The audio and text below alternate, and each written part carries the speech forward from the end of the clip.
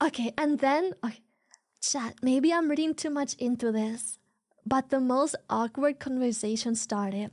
You guys know how at TwitchCon uh, Amsterdam?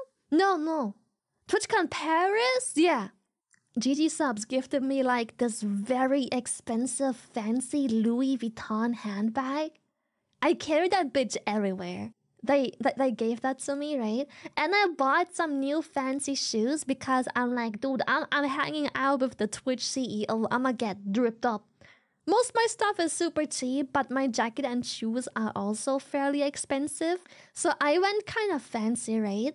Rather recognizable brands. Uh, I don't wear any of that outside. For casual stuff, it's gonna be just like, you know, yeah, we slay, we slay.